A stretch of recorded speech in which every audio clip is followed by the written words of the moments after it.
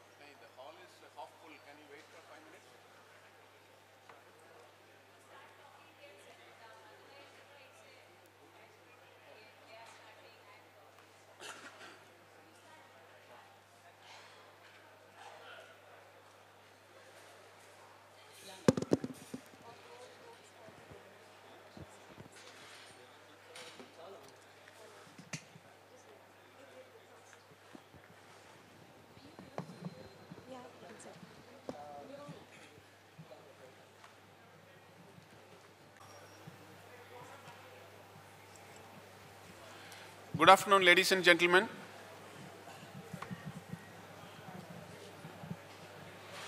Sessions in the afternoon, post-lunch session, are uh, extremely difficult. It depends on the food, because if the food is good, you know what a good food will do to all of us, and if the food is bad, it will create problems in the duodenum.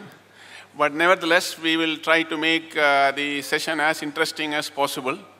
We have an expert panel today. Uh, the combined market experience of the panel is close to around 100 years. So it is rich with the market experience. So everything you wanted to know about the currencies, you will know today. So if whatever that has been discussed, if you already know, you can sit on judgment whether the panel is doing the job.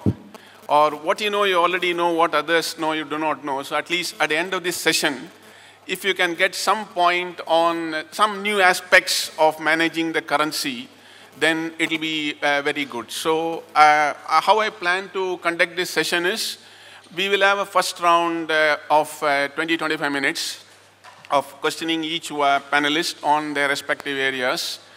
Then we will have the second round of uh, 20 minutes. Then after that, uh, we'll have a question and answer session for about 15 minutes. So that's how the entire uh, panel is uh, structured.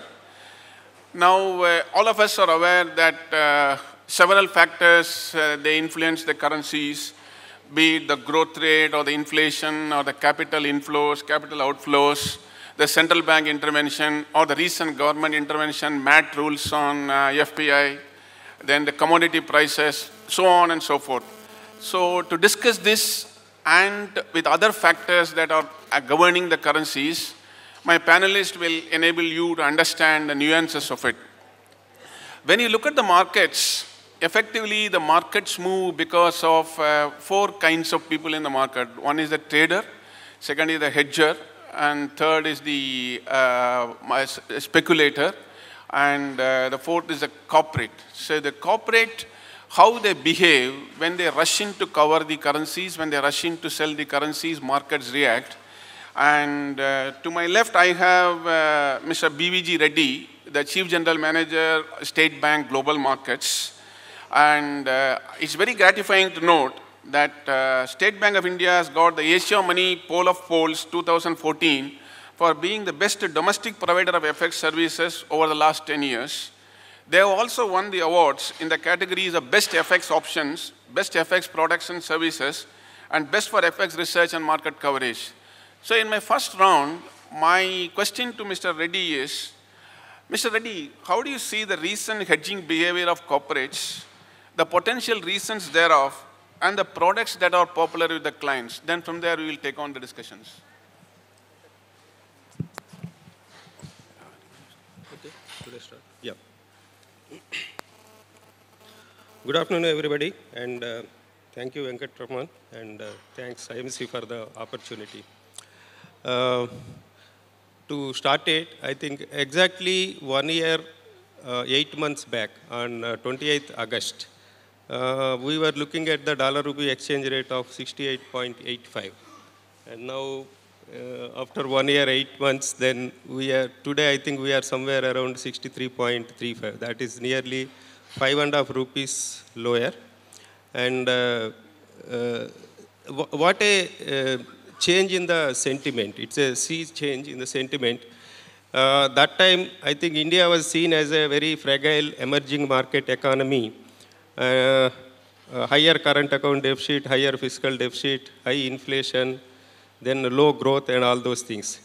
And today we are seen as the very stable uh, or the blue chip among the emerging markets exactly for the opposite reasons that uh, we current account deficit is under control then currency is stable inflation is coming down and uh, i think uh, this year or maybe next year i think india is going to become the world's uh, highest growth uh, registering economy so these are the reasons and along with the change in the sentiment also the corporates behavior also gets affected so a lot of corporates are very, very confident now about the exchange rate and all.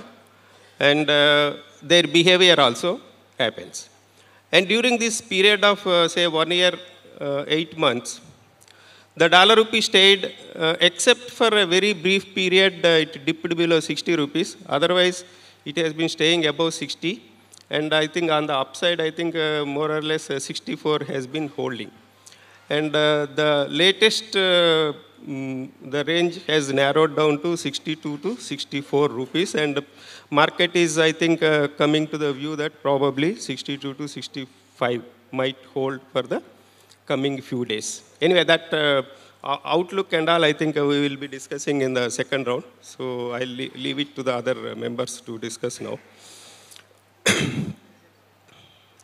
Now, uh, what, is the hedging uh, pattern that we have observed among the customers? Uh, the hedging is done primarily by the exporters because uh, the, the forward premia, that is what the, the for hedging the thing for six months down the line, I think it is somewhere around 7.35 percent. So with the spot rupees, suppose if a customer exporter books a forward contract, he gets uh, nearly 2 rupee 35 paisa extra. So the, a lot of exporters are doing the hedging.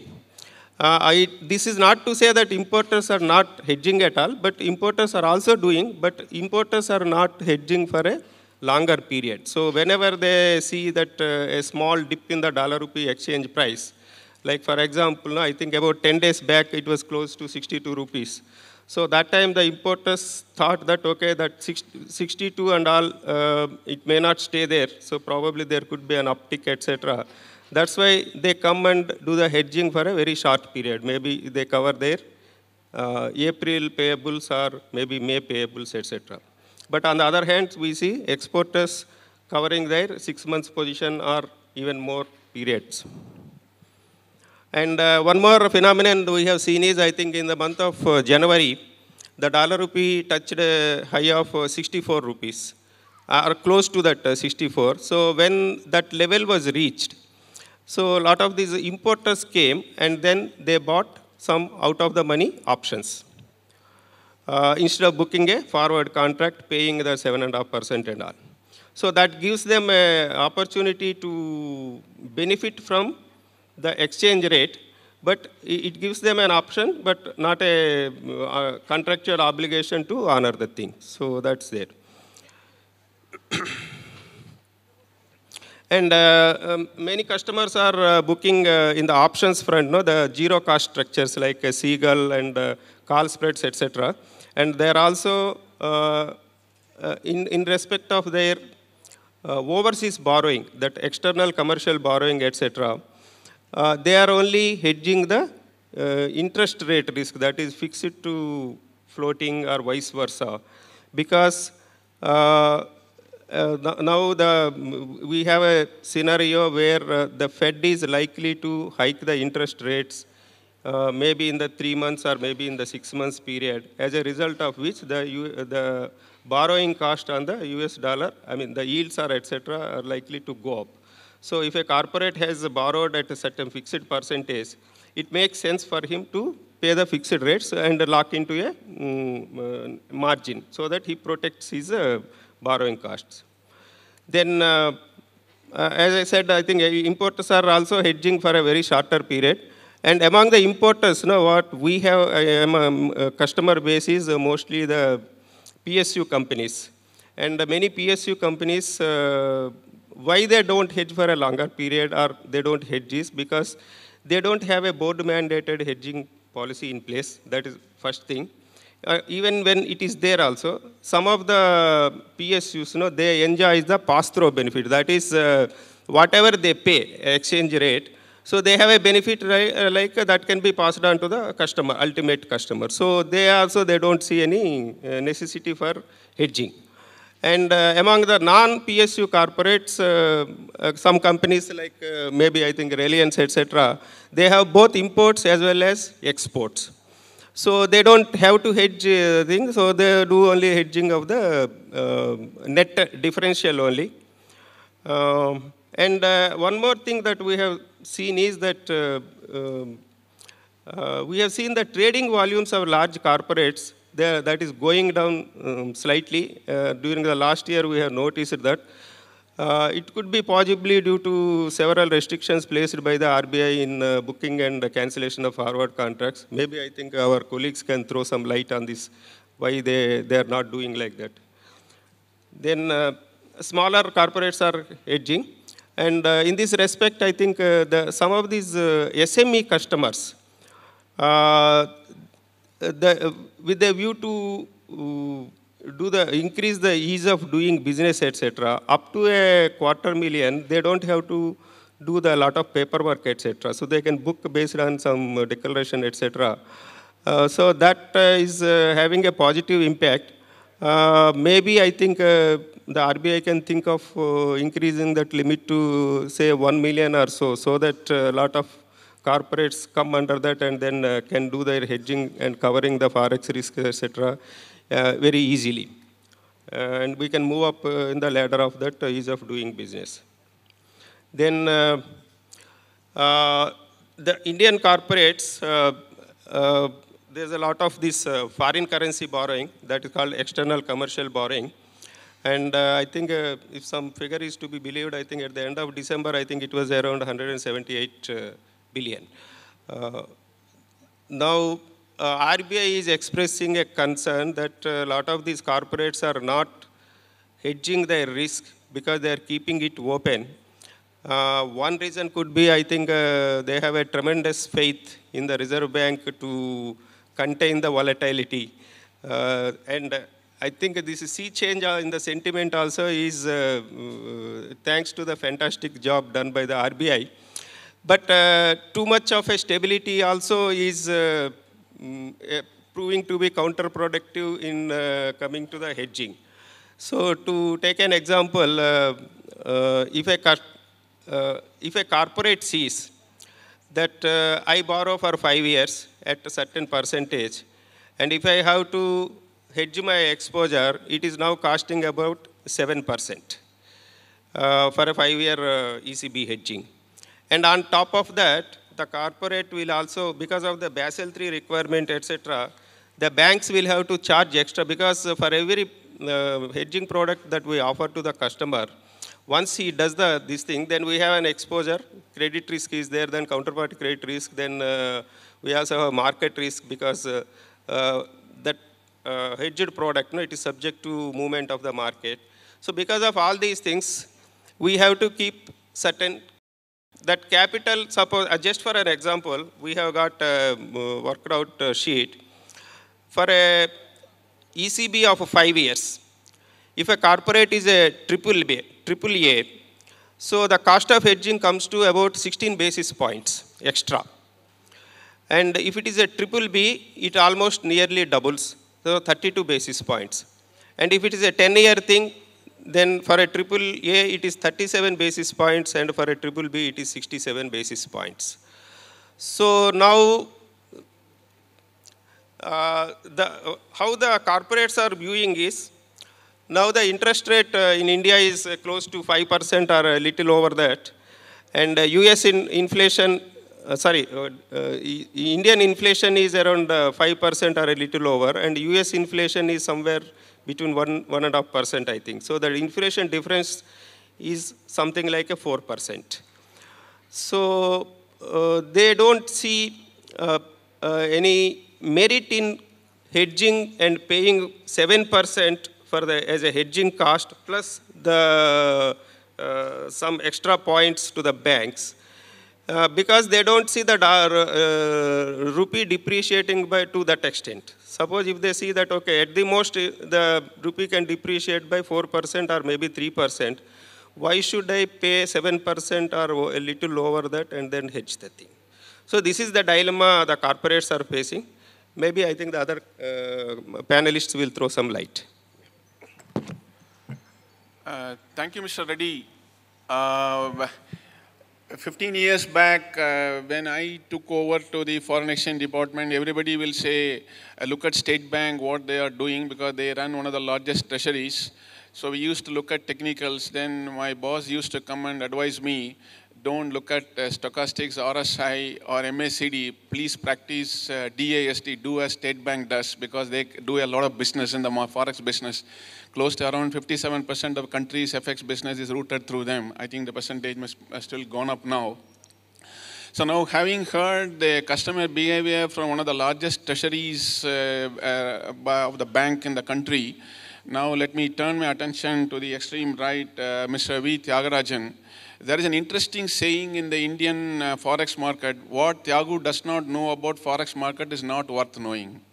So that is the power of uh, Thiagarajan. So he is a wonderful combination of uh, techno fundamentalist. That means uh, whether it is uh, stochastics, Bollinger Bands, or uh, Elliott wave, he can speak with authority or whether it is concerning the growth rate, inflation, interest rates, or the behavior of the markets, he can speak with more authority. But while talking about investments, or one of the uh, uh, analysts very famously wrote in, in one of his blogs that uh, a wrong decision can double the experience and the right decision can double the confidence. So both way you win. So effectively that is how uh, it is. Now let me uh, ask Thiagarajan, having heard the customer behavior, before I actually come back to you on how the corporates manage the treasuries, let me look at some of the specific aspects because a lot of importance is given to the growth rate of the GDP in the country and they have a bearing on the exchange rate, where how the exchange rate behaves in a country. So can you throw some light on the growth rate of the country and where India is poised and how do you see the markets given the growth rate?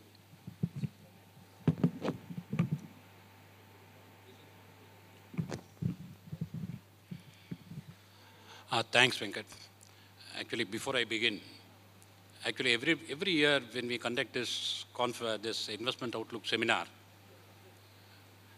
naturally dollar rupee moves after the seminar. You actually basically you scheduled it for 21st, I believe, correct? So 21st itself it started moving actually.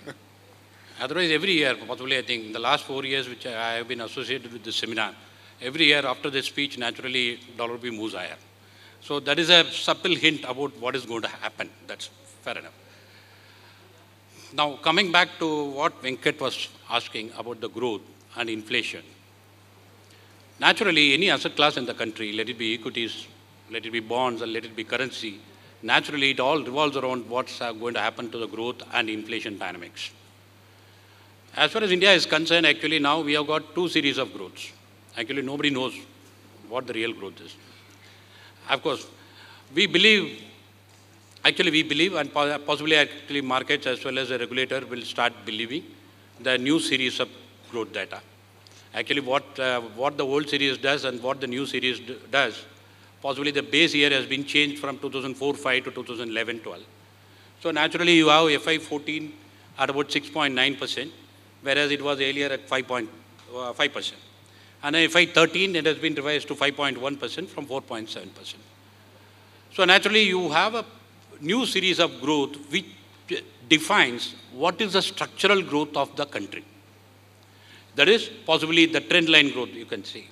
It's about 7.2% as to actually possibly the 25 years of permutation combination with the new series input, you get a figure of 7.2%. That is the structure, possibly the potential output 7.2%.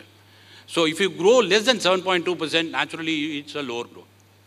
If you grow higher than 7.2%, naturally it is a higher growth.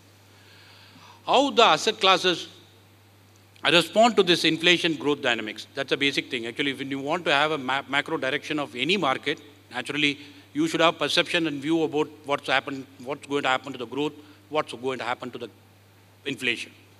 If I'm saying 7.2% is a potential output of the country, then whether we are there in high growth, high inflation quadrant, or low growth, low inflation quadrant, or high growth, low inflation, or low growth, low inflation.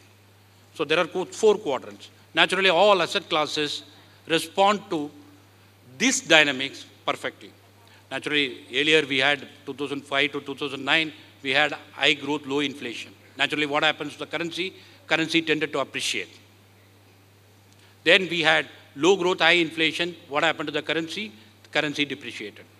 Now, possibly where we are heading, possibly to, let us say if I 15, 16, if I take, if I say 7.2 is some sort of a hurdle rate for the economy to achieve, and whatever the incoming data that you see, if you are going to say even sail around 7%, or let's say 6.5 to 7.5 if you sail around, we will consider that as some sort of a moderate growth, bordering on low growth. Then what is happening to inflation? Of course, thanks to falling commodity prices, actually now optical illusion, CPI, WPI negative and CPI at about 5.5, and then everybody is happy that inflation has come off. But as the base effect wears out, as basically the commodity prices started falling in the month of, from the month of November onwards. So as the base effect wears out, you will see the inflation inching back once again. If the inflation inches back once again, possibly we are going to stay in some sort of a low growth, low inflation quadrant in this current year. Possibly for maybe another year or two, whatever the incoming data, let it be corporate earning, let it be investments, data on capex spending, data, uh, talk about anything actually, possibly. It all points to low growth, low inflation.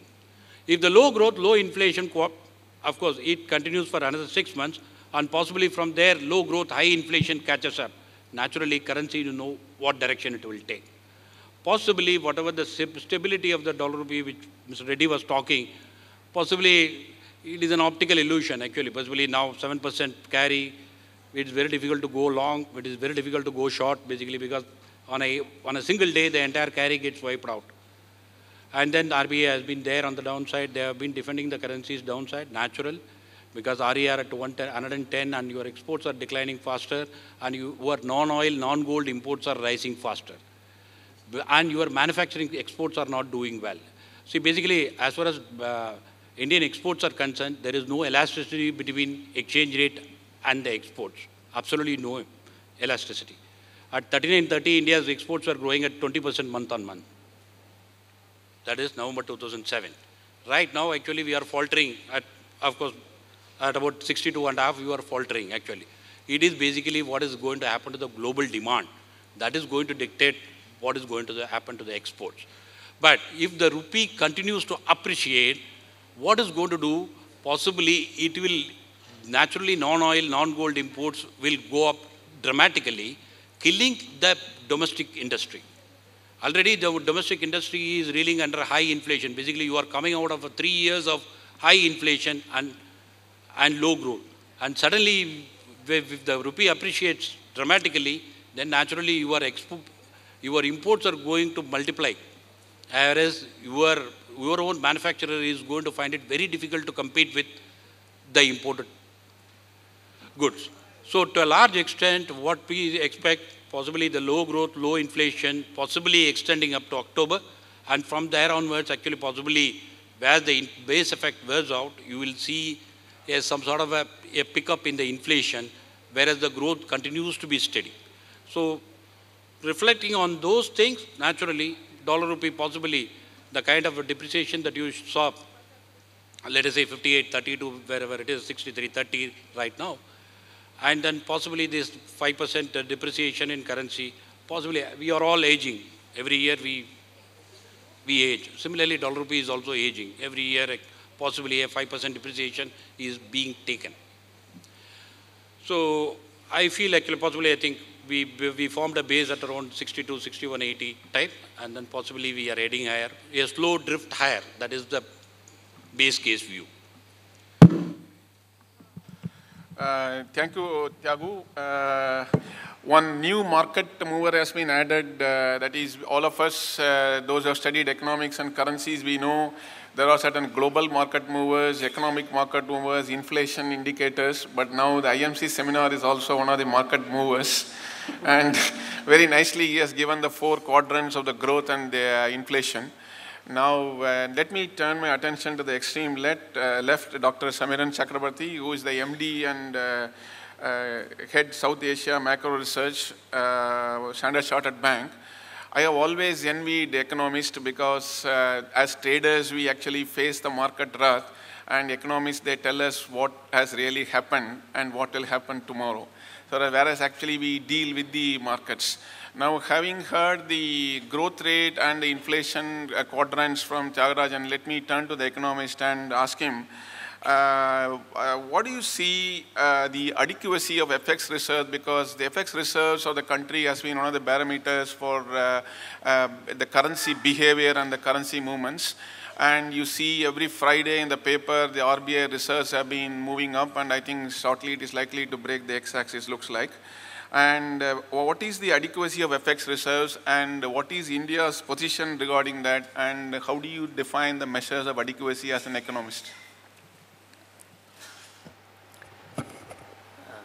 Thank you, Venkat, and thank you, IMC, for calling me. Uh, it's a privilege to be here, and uh, it's a privilege to be part of this uh, extremely knowledgeable and experienced panel I am only dragging down the average, I must say. Otherwise, you would be 150 years without me. Uh, well, uh, before I go into the adequacy of reserves, uh, let's try to understand what RBI has been doing for last one and a half years uh, in the currency market. Uh, it is uh, steadily intervening in the spot market and buying dollars. just to put the numbers right, uh, in from January 2014, in uh, one year, four months, uh, RBI reserves have gone up by about $90 billion. If you adjust for uh, forex valuations, then probably the true number is about $110 billion. Uh, RBI has intervened in spot and forward markets combined of similar magnitude. But what we have to keep in mind is that over this period, balance of payment surplus for the economy has been only about $60 billion. So RBI has intervened and bought dollars from the market much more than what the excess supply of dollars in the market. In other words, what RBI is doing is mopping up, so to say, forward dollars. Uh, so all the corporates, the importers uh, who are selling uh, who are buying forward dollars or exporters who are selling forward dollars, the net forward supply is also coming into play. And that's why the RBI's total intervention has been much more than what the balance of payment surplus is. So that's point one. Now, why is RBI doing this? So one way of thinking is RBI is doing it simply because it has a target FX reserves in mind. In fact, uh, the economic survey of this year has suddenly spooked many of us by saying that the target FX reserves for the government should be 750 billion to 1 trillion dollars. This is in print. I'm not giving you any private information here. So, and we are today at only 350 billion.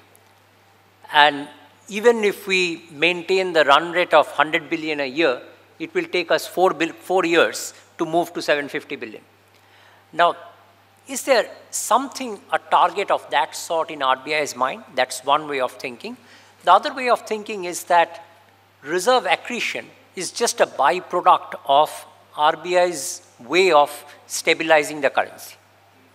They do not have an independent target of FX reserves in their mind. And in that context, we have to look at the valuation of the currency and say that what does RBI want to do with the currency? So if you know, we as economists, we prefer this metric called REER, the real effective exchange rate, as a simple measure of valuation. So the fair value according to this metric is 100. Today, rupee was about 113 before this recent bout of depreciation came. So crudely, people used to say that rupee is 13% overvalued. I must warn you that uh, this is a very unscientific way of looking at things. Uh, it's just a rule of thumb.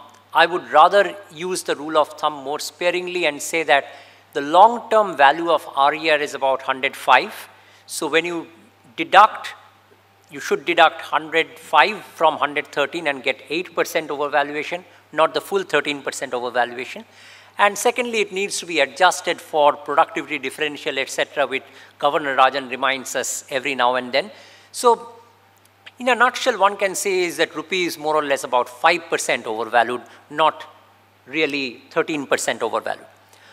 And as Tyaguji put it very nicely and, and well, that exchange rate has very little impact on India's exports.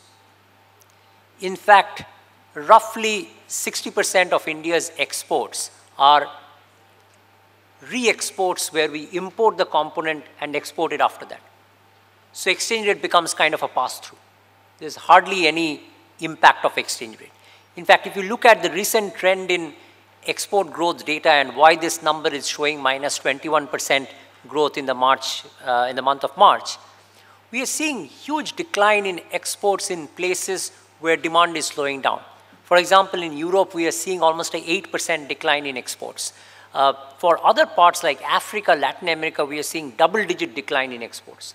But say a place like US, exports are still growing to US. Or even for that matter, exports to rest of Asia, it's still growing, whereas there is still growth.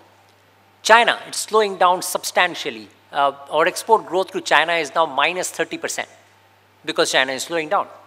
So world demand has a more direct impact on exports than exchange rates, but still keeping in mind uh, the overvaluation issue, RBI probably is intervening and making sure that the overvaluation does not go up substantially. In fact, we believe that after this recent depreciation, RER has already now come down to 110. So we probably don't need another flare up in the currency to make sure that it comes to 105. We are okay. Uh, now coming to the second part, which is about how much reserves do we really need. So one standard metric is to say number of months of import cover. Uh, we used to get about 14 months of import cover before the financial crisis. We are now at about eight months of import cover, maybe eight and a half. Uh, so some people say we need to go up from eight and a half to 14.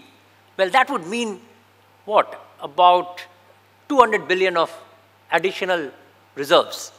So we are never going to go up to 14 months. I'm, I'm pretty sure about it, not in the short term at least. The second way to say is that okay, how much money we will suddenly need. So RBI puts this as a sum total of volatile capital flows and short-term debt. And while taking volatile capital flows, it takes a stock of all foreign institutional investor inflows and the short-term debt.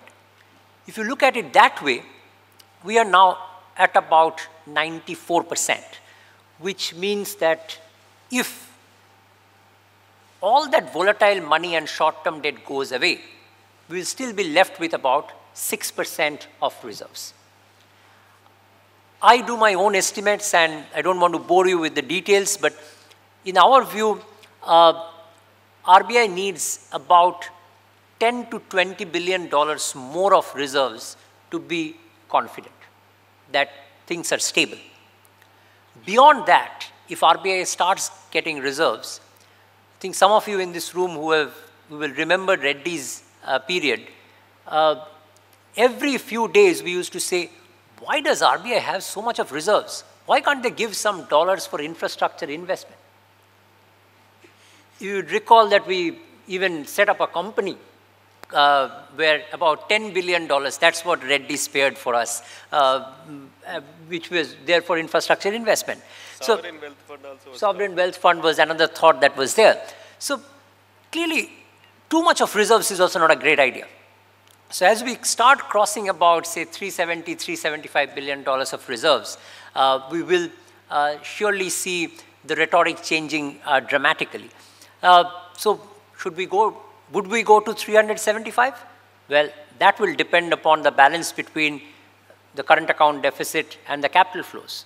If we are right on our prediction that current account deficit this year will be just about 1% of GDP, which is about $20 billion, then unless uh, the policymakers screw us badly uh, through some unthinkable policy, we are definitely going to get more than $20 billion of capital inflows.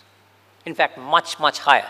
Our prediction is that we should get a balance of payment surplus of close to $50 billion. So if RBI is intervening that entire amount of 50 billion next year, then we are anyway back to about $400 billion of reserves.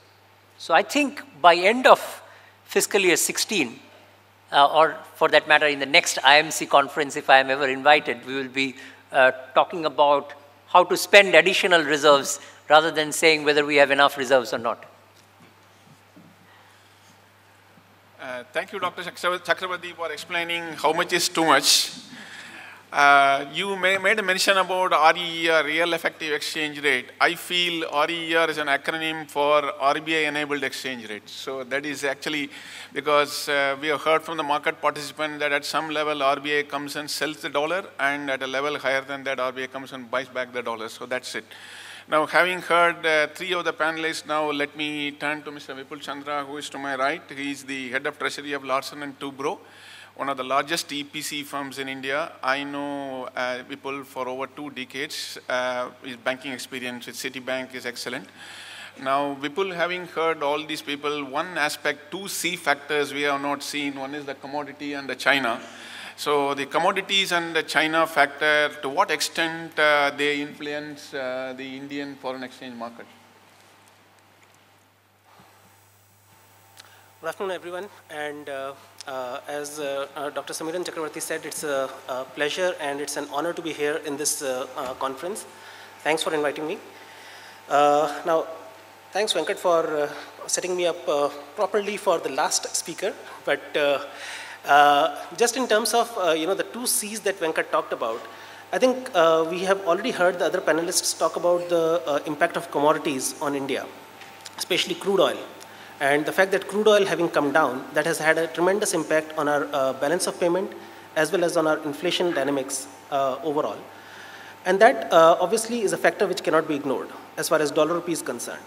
More importantly, I think commodities, uh, what is happening in the commodities world is also a reflection of what is happening globally in the economies uh, across the world.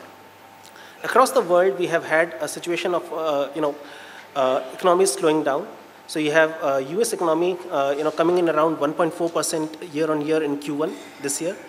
You have eurozone coming in at about uh, uh points, uh, points, 0.3%. Uh, you have China coming in at about 7%. All across the world, we are seeing economies slow down. Now, for a long period of time, while the slowdown was still continuing, commodities were still holding up. Last year, finally, the commodity complex also started giving way to the drop in global demand and we have seen commodity prices drop, with crude having dropped more than 40% from its uh, uh, earlier stable levels of 100 to 110 dollars. We have seen uh, iron ore decline more than 50% over the last one year. We have seen copper and aluminium almost at their uh, you know historic lows in between.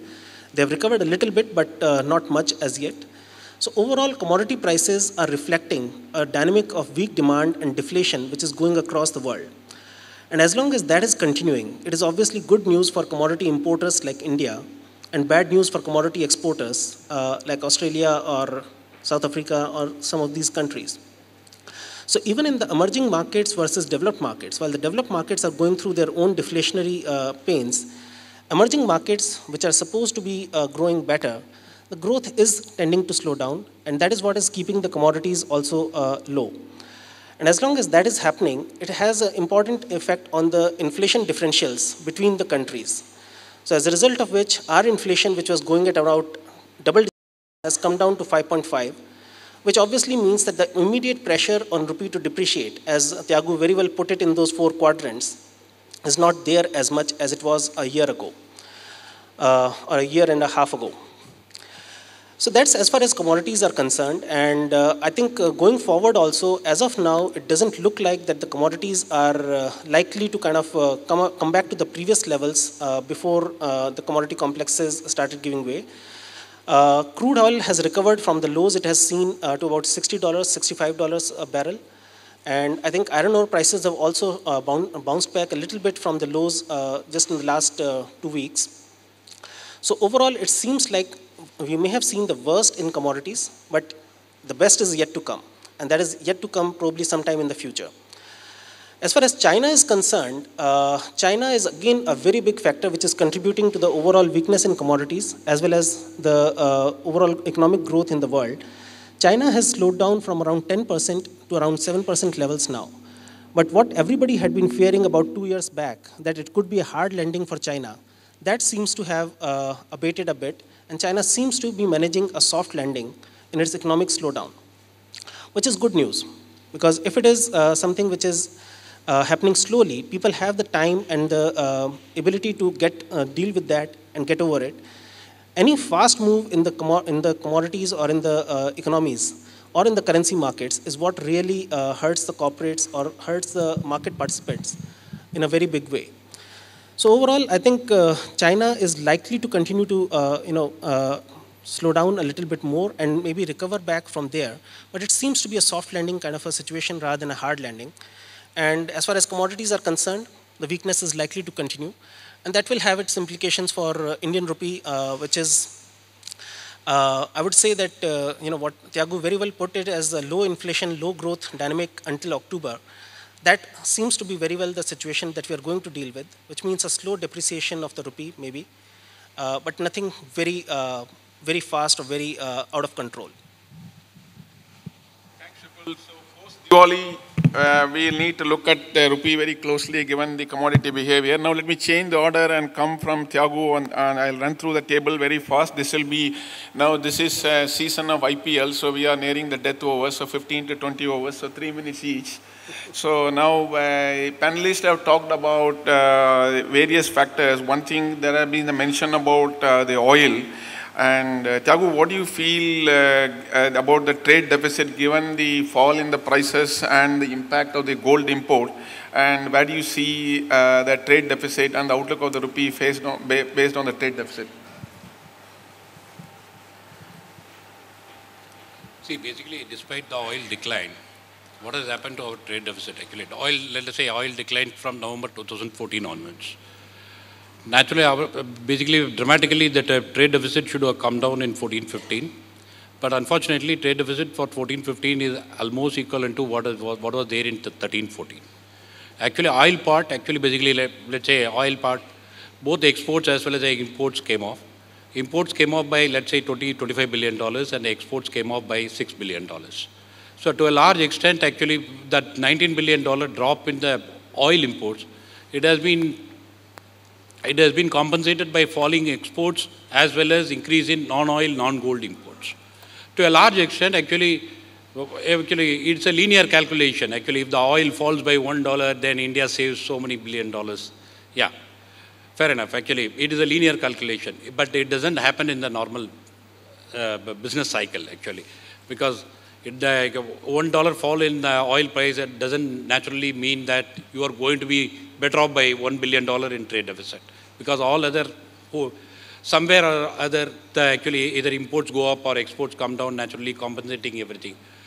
The biggest factor as far as trade is concerned, it is a cause for concern as far as the exports are concerned. Exports actually naturally oil exports basically headline oil prices are down. Naturally your oil exports are off by six to seven billion dollars. But rest of the manufacturing exports, they are finding it extremely difficult. The March number is some sort of a wake-up call. $11.75 billion after some time, actually. It's a wake-up call. So basically, if the trade deficit continues to grow like this, possibly we will catch up that $15 billion trade deficit a month very soon, despite the low oil prices. That doesn't sound very well. So possibly I think trade deficit is going to continue at about 130 to 140 billion dollars a year, despite wherever the oil prices stay. So basically the status quo as far as trade deficit is going to continue actually. Basically we are not going to see that 200 billion dollar trade deficit number anytime soon. Thanks, Tyagu. Now, Vipul, let me come to you uh, quickly now. Uh, we have covered almost all the aspects, and uh, one is on the uh, Eurozone. The, about Eurozone, uh, we hear two things. One is the worst is behind us, then suddenly after three months, the crisis starts. Then we think the Greece is over, then again the Greece is uh, propping its head. So, where do you see the Eurozone crisis and its impact on India and the currency?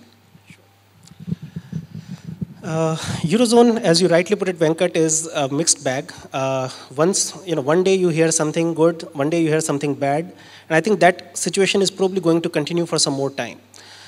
Uh, and we can divide this problem into fundamental and political. On a fundamental level, if you look at uh, Eurozone, uh, Eurozone, the growth had been slowing down for quite some time, and the ECB, after uh, you know, hemming and hawing for a long time, finally decided to take some action and they started their quantitative easing in January this year. And given the amount of quantitative easing that they are talking about and they are uh, implementing, I think it's a matter of time, uh, maybe by Q3 or Q4 of this year, that uh, Eurozone fundamental fundamentals in the Eurozone start to pick up a little bit. Already there are signs with you know unemployment uh, coming down in Eurozone in some areas, real earnings going up a bit, retail sales going up a bit, but we can't really say that Eurozone is out of the woods completely as yet. So it's not again going to be a situation where we can say with a complete certainty that the worst is behind us. If there is anything which happens to uh, destabilize the Eurozone financially, it can still uh, cause a decline in all these numbers very, very quickly.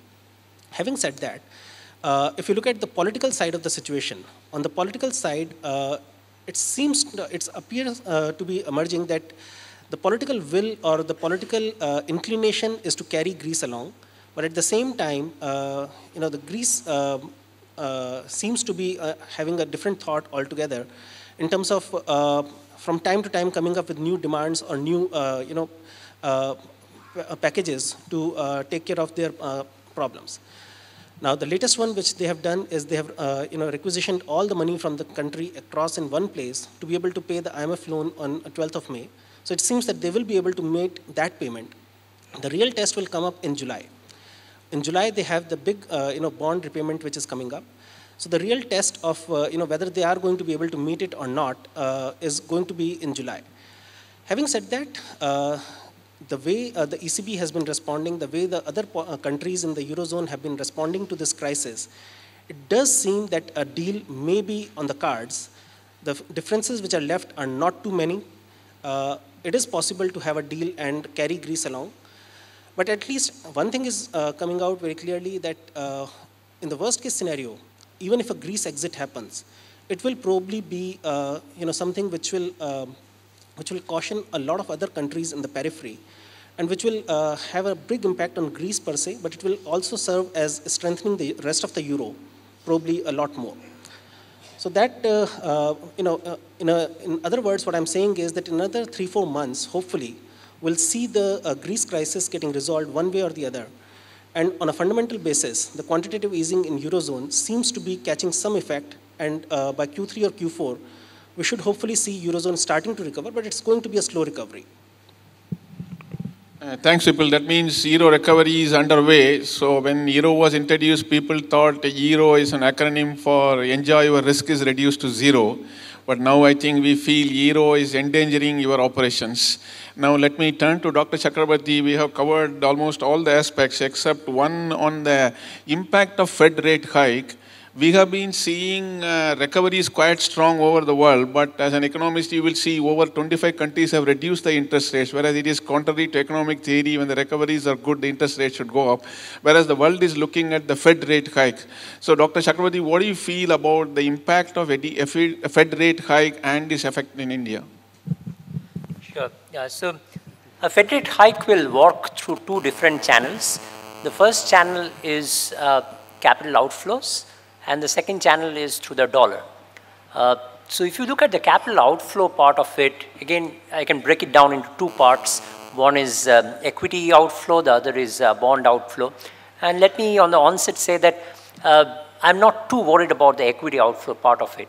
If you look at uh, the 2013 uh, taper tantrum period as a template, uh, we hardly saw any equity outflow from India when the markets were talking about the uh, taper uh, fear. But we saw a significant amount, almost $13 billion of outflow from the debt markets.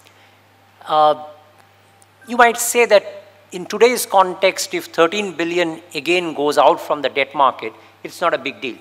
RBI can always pump in 13 billion. We were just discussing they've got 100 billion dollar of additional reserves. So if they can give 13 billion out of it, not a big issue. But you have to keep in mind two things. One is that when 13 billion went out, our total stock of debt inflows was only about 24 billion. Today, the stock of debt inflows is close to 70 billion on the debt side. So the amount that can go out is much larger. Now, the question is that as an economy, we are very different in 2015 compared to 2013. In 2013, we were part of Fragile 5. In 2015, we say that we are part of Fabulous 4. So it may be that investors, and in, in all my investor trips, it comes out clearly, they just love India. They don't want to take out their money at all. But one thing can change, which is that India is not part of a global bond index, unlike on equity where we are part of an MSCI world index. So indexed investors never really take out a huge amount of money because they have to match the weightings according to the index. If you are not part of the global bond index, then investors are often very digital in nature. So either they will have 10% weighting of their portfolio in Indian bonds or they will have zero. So if they decide that they don't want to be in emerging market bonds and they want to cut back on India, then you could very quickly move from 10 to 0. And that's where my fear is on the debt outflows side. But the bigger question is the impact of Fed rate hike on dollar and associated impact on rupee. Let's face it that rupee is expressed as in dollars. It's a bilateral exchange rate. And if you look at earlier dollar cycles in 1980s and in 1990s, the two recent dollar cycles, it lasts about five and a half to six years. And in 80s, dollar moved up about 56%. And in 90s, dollar moved up about 34% in these two dollar cycles. This time, we are about three years into the dollar cycle, and dollar has moved up about 17%. 17 compared to 36 and 54. You take your guess. If we move from 17 to 36 in dollar strength, we cannot say that rupee will stay in a nice narrow range of 62 to 64. Then we are thinking of really very different ranges altogether. Otherwise, we will all be jumping up and down with an RER level of 120 plus and saying that why our RBI is not doing anything about it. So we have to keep this Fed rate hike view in the context of how dollar is reacting to it and then take a rupee view on the back of that. Uh, thank you, Doctor, for that note of caution. And now, uh, lastly, to uh, Mr. Reddy, so whatever we have heard about growth rate, Fed rate hike, oil prices, inflation, GDP, etc., etc., they are all the ABCs of the FX market. But I feel what really influences the behavior is the EFGH of the market participants, their emotions, the fear, the greed, and the hope. And psychologists, they say fear is the false emotion appearing real. So as a bank handling the largest uh, uh, treasury uh, in the country, what could determine the influence and behavior of corporate in 2015?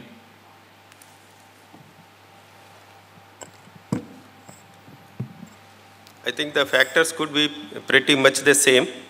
Uh, actually, when we joined in 93 in the dealing room, then uh, uh, that time uh, we used to have a very, very stable dollar rupee exchange rate. that was 31.37.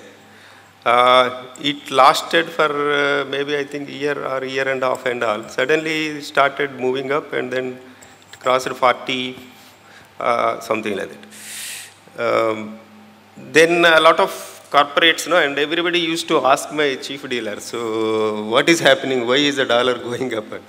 His simple reply used to be, there are more buyers of dollars than sellers in the market. so that sums up.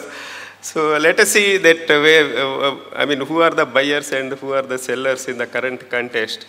So one source of uh, dollar inflows has been the FIIs. So last year, I think, uh, to put it in the rupee terms, I think uh, roughly around uh, 2,50,000 crores of uh, inflows have come, both in debt as well as equity segment. And in the 2015, already uh, in these four months, or less than four months, the inflows have been 15 billion. But uh, of late, no, I think during the last uh, maybe a week or 10 days, I think uh, we are seeing uh, some kind of a uh, uh, this some outflows are also happening. Uh, that is basically what is agitating the minds is about this uh, stability on the taxation front, minimum alternate tax, and these, these things. And uh, that's one thing. And then another thing is that uh, these FIIs in the debt segment, no, they have already exhausted the full limit that is allocated to them for the government securities. And uh, only corporate uh, debt segment, uh, some room is available. So I think about 75% of that uh, limit is also exhausted. So only about 25,000, 25% is left. that comes to about roughly maybe about 8 billion or so, I think 50,000 uh, crores. So that is possible inflow that can come. Uh, and uh, unless the government or the RBI increases the FII limit in the debt segment, I think the future uh, inflows can happen only in the equity segment. Uh, then equity segment again uh, now the foreign investors are closely looking at uh, the stability on the taxation front, how the government is going to handle this uh, MAT issue.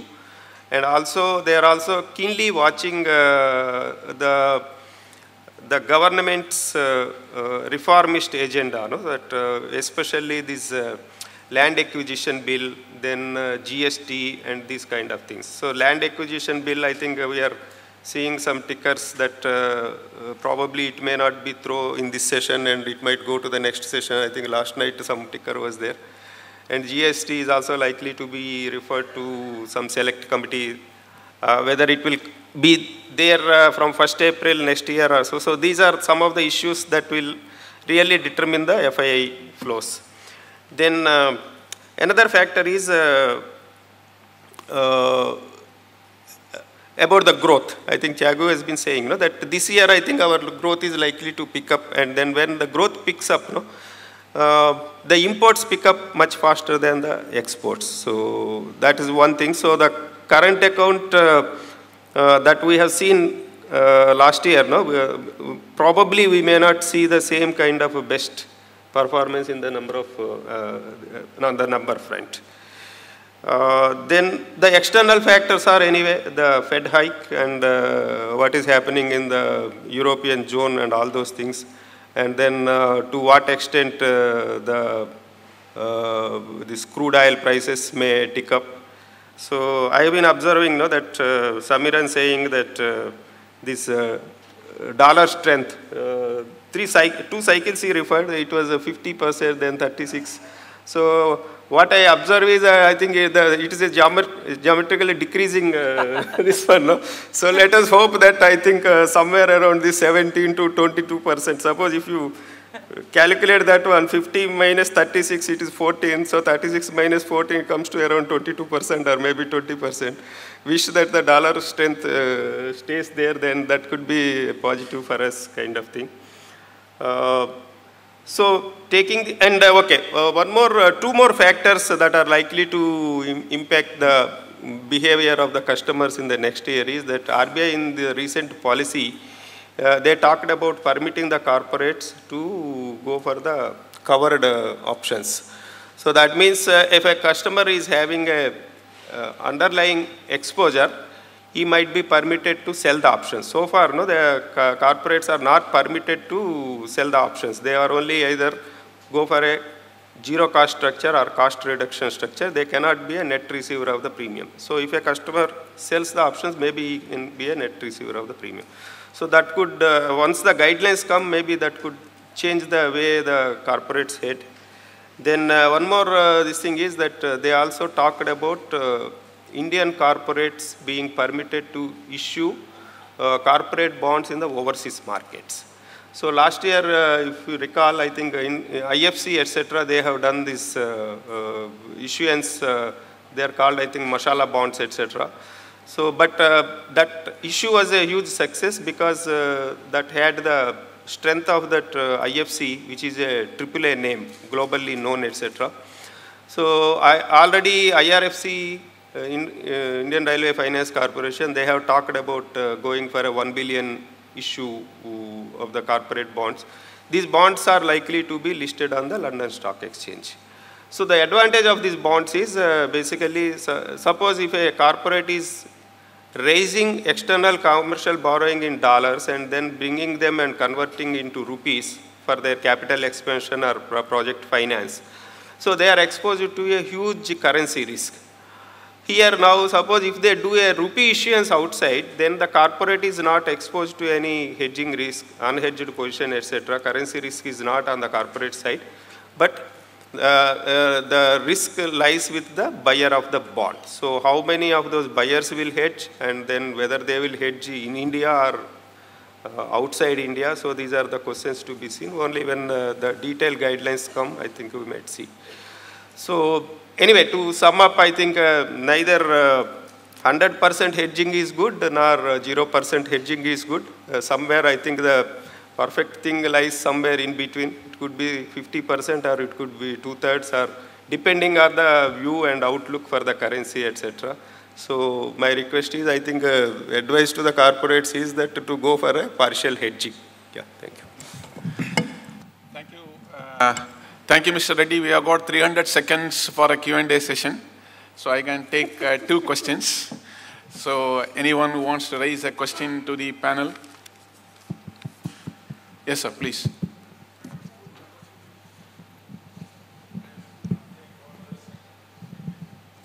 Sir, you can please uh, name to the, which member of the panel you want to address that question, then ask your question. No, I think Samiran would be the right person, I think the economist. Uh,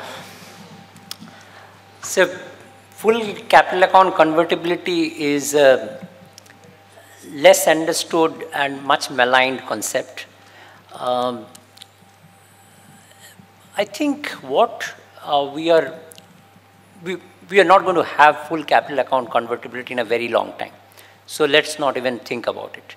Uh, if you look at the philosophy behind capital account convertibility in India, when we started in about 98, 99 with the Tarapore committee report, uh, we were just coming out of the East Asian crisis. And the common perception was that, and I'm generalizing it, equity inflows are good, debt inflows are bad. So let's have all kinds of barriers around debt inflows and make the equity inflows as open as possible. We are now changing this, but you will still see that that mindset prevails in 2015 itself, where we have all kinds of limits set on debt inflows, but almost nothing on equity inflows. And the other part was that we will keep inflows relatively flexible, while outflows will not be allowed so much. I think that perception is changing, where people are now moving to a regulatory setup where they're saying, we will filter the inflows while they come, but we will keep the outflows as much as possible as filter less. So that is the broad structure of capital account liberalization change that is happening over time. But beyond capital account liberalization, what is happening is a little bit of internationalization of the currency, which is what Mr. Reddy was talking about this issuing of rupee bonds offshore, etc. This is what China is doing, by the way. That they're internationalizing the currency without doing a full capital account convertibility. And we will take a great step forward towards that if we can convert this GIFT project in Ahmedabad. If we can get this GIFT City done, that will make sure that we do the internationalization without doing the capital account liberalization. I think that's a model which we are seriously considering. We have got time for one more question. Yes. Hi, my uh, question is to Samiran again. Hi. Uh, you know, since you are a recipient uh, to one of the largest FPI uh, debt flows in the country, uh, you've been meeting some real money guys. Uh, what do you think? India still remains a carry story on the debt side of it, or it kinds of converting into a directional story subject to the limits available on the quotas? That's the first one. And the uh, second one, you know, coming to the offshore issuances, do you think we will find real size takers for that? Uh, well, uh, my first quarter travels across the world. I came back and wrote my note, and my last line was that uh, there are only two currencies the world wants to hold. One is US dollar, the other is INR. I don't know against US dollar and INR which one is going to win, uh, but that's the sum and substance of people's thinking, and this is before the MAT on FPI thing. So I must clarify that, that this has created a huge amount of concern among foreign portfolio investors. But without MAT on FPI, if I am slightly frivolous on this, I might say that if you today open up another 10 billion limit, it will get taken up in two days. That's the kind of interest uh, that still exists on Indian bonds. But what is also there is that from taking sovereign risk, they are now forced to take credit risk because the sovereign limits are not available. And taking credit risk on India is much more difficult proposition, so not everybody will be able to take it. But on the other hand, if you think of it, the world across, triple B minus rated currency, countries, none of you gives you even a 7% return. So it becomes almost a no-brainer for a guy to put money into Indian bonds, even if RBI cuts rates another 100 basis points. So the interest rate differential argument will not go against India anytime soon. It still will stay. It's a question more of policy stability, taxation issues, where you might face uh, some of the challenges. Uh, the offshore bond issuance, I will leave the panel to answer it. I'm not a specialist to say that how much interest you are seeing you are in the market. I'm only an economist.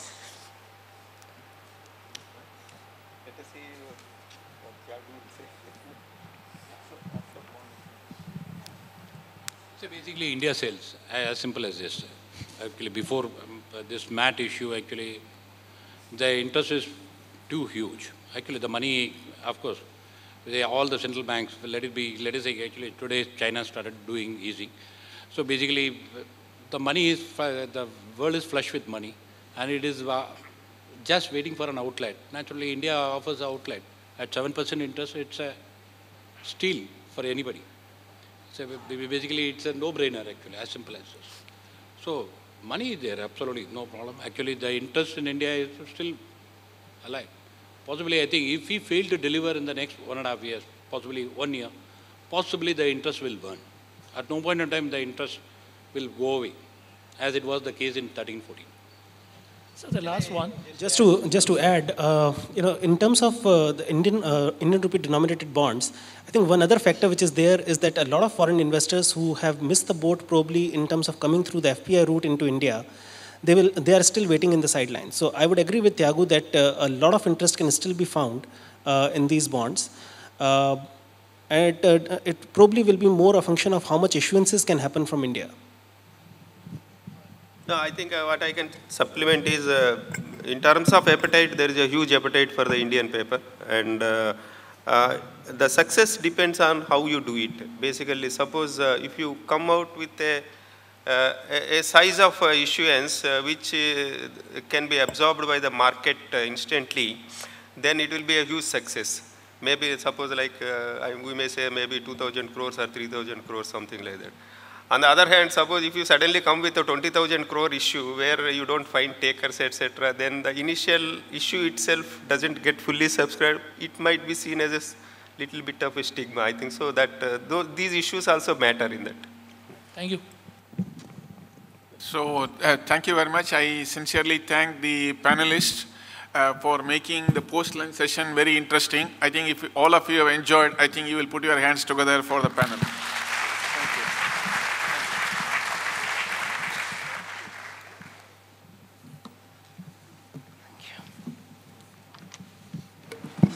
Thank you, all of you. Uh, may I now request Mr. Mahesh Thakkar to please uh, present mementos to our speakers. Uh, Mr. U. Venkataraman.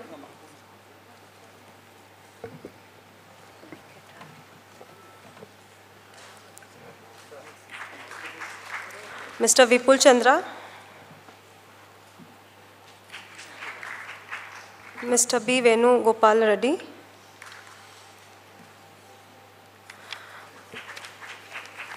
Dr. Samiran Chakraborty. And Mr. V. V. Thiagarajan.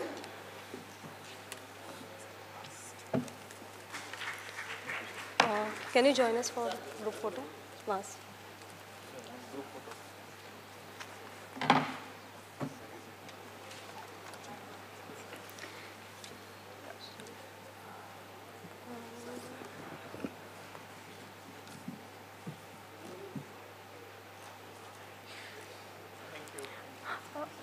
We now move on to uh, next uh, commodity panel. Uh, may I request Mrs. Dina Mehta to moderate this session and please come on the dais. Mr. Anjani Agrawal, Mr. Rujan Panjwani, uh, Mr. DJ Praveen, and Mr. G. Chandrasekhar.